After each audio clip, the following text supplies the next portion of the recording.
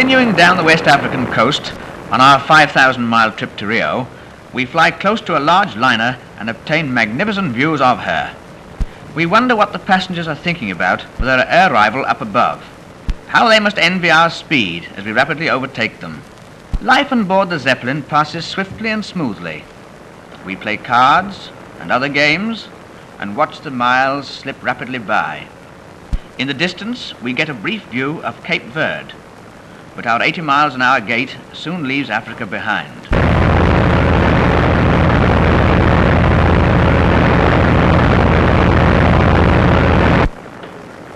In the 110 ton Zepp are rest rooms and cabins, cozy and comfortable.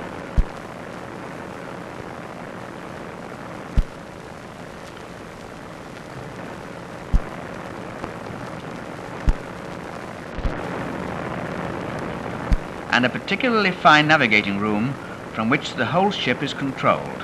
Writing and games soon bring us to the end of a perfect day, during which we have covered over 1,500 miles.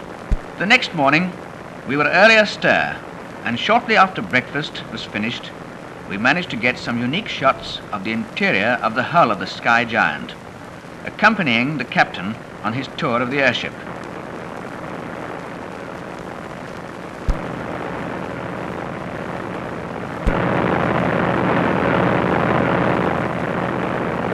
Power eggs, as they are called, each house a 550 horsepower engine.